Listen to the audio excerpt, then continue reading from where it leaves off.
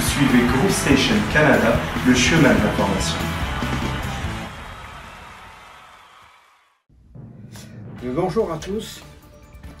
Je remercie Groupe Station d'accorder à Du Soleil Associé cette euh, capsule-là. Et on va euh, certainement en faire euh, plusieurs. Tout va dépendre de votre attrait et de votre intérêt là-dessus.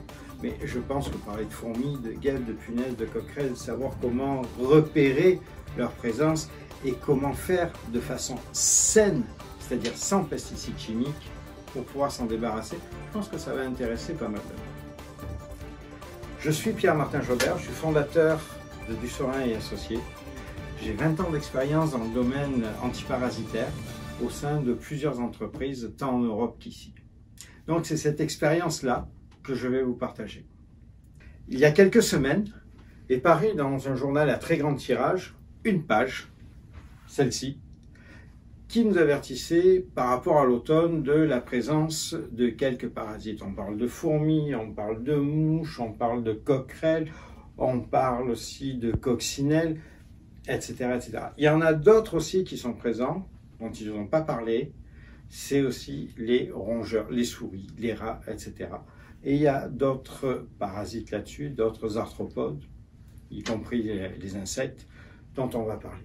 Donc tout au long de ces capsules, nous allons aborder cette, euh, cette approche-là et on va voir à chaque fois un de ces parasites.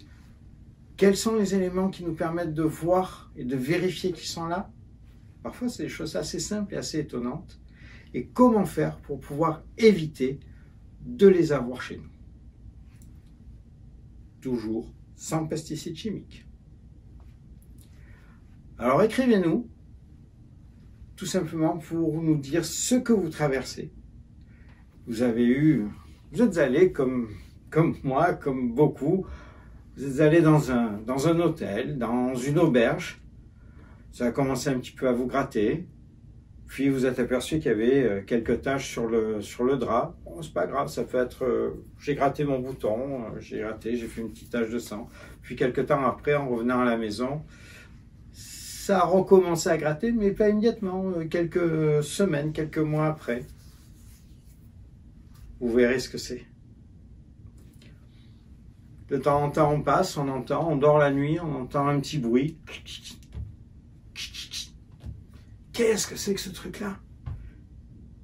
Quel est ce voisin qui vient faire du bruit chez moi? On va voir ce que c'est.